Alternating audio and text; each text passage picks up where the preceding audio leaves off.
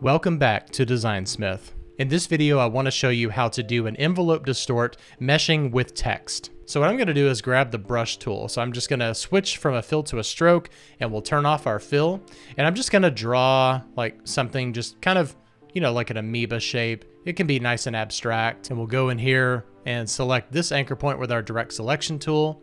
And now use our direct selection tool, select over both of those and hit Command J, and that is going to join that together. And you can swap this over to a fill. You don't have to, but it's something that I like to do. It just works a little bit better in my mind. And now let's put some text in here. Why don't we do like Nickelodeon since it looks kind of like a slime splat? And what the heck, we'll use the Nickelodeon font. Now I'm not going to resize the rest of the font. I'm not going to get the kerning exactly right. This is just for the purpose of the video. The next thing I'm going to do is make a copy of this over here and the reason for that is because we're going to need to bring it back for a background color. Next thing we need to do is select this shape right here and we need to go up to Object, Arrange, and Bring to Front. The object that you're going to be making the shape with needs to be at the front. So now all we have to do is select both of these and go over here to Object, Envelope Distort, and Make with Top Object. And so as you can see, the text is now kind of bending and distorting to that actual shape. And now we can select both of these. I'm going to select this one more time to make it our key object and then go over here to align and click on horizontal align center. And I'll click on vertical align center even though we don't have to because it's already on that same vertical axis. Now I'm going to select the text layer and lock it real quick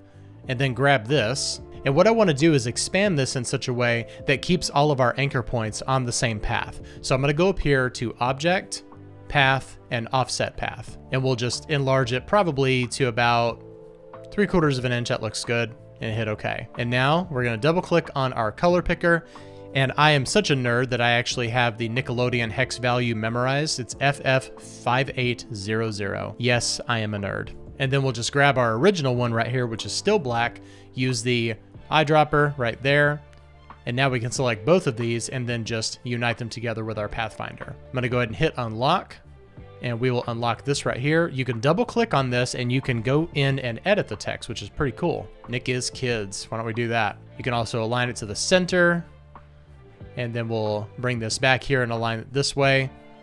And we want to make this white. Now, if you want to, you can go back in here and edit the way that this shape is actually put together. So go ahead and click on it and then grab your direct selection tool by hitting A on your keyboard. And you can go in here and edit these individual paths.